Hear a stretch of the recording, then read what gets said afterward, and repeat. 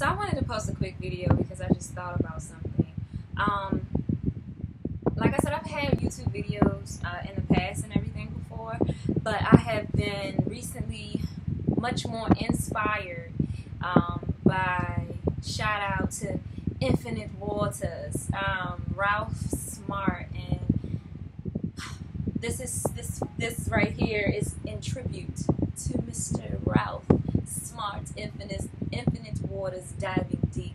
When I seen the picture, which has always been in my house, always had this picture, I was just like, I think I'm going to use that, and basically just to uh, show my love and show my appreciation for your ability to communicate to my spirit um, without even knowing me and to communicate to so many other spirit. I saw a comment that I had said myself, but somebody had wrote it, and I was like, it's crazy how what I'm thinking, I'll click on one of these topics and it's exactly what I'm thinking. And you know, nothing is by mistake. Everything is systematically laid out. I feel like every dot connects to something that goes to the next level of wherever you're supposed to be. And you know, I just wanted to tribute this beautiful wave. It reminds me of him diving deep, infinite water, um, and just you being eclectically and eccentrically and boldly.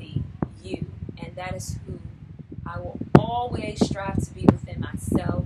And I appreciate the fact that um, you have, I'm not going to say you molded into the, well, I guess I can say that because we're, we're steadily kind of like carving ourselves to, to get to ourselves because we have so many other layers of um, just other people's personalities or perspectives of how we think we're supposed to be. So just shaving the layers to get back to your inner self so that that inner self can beam out with love.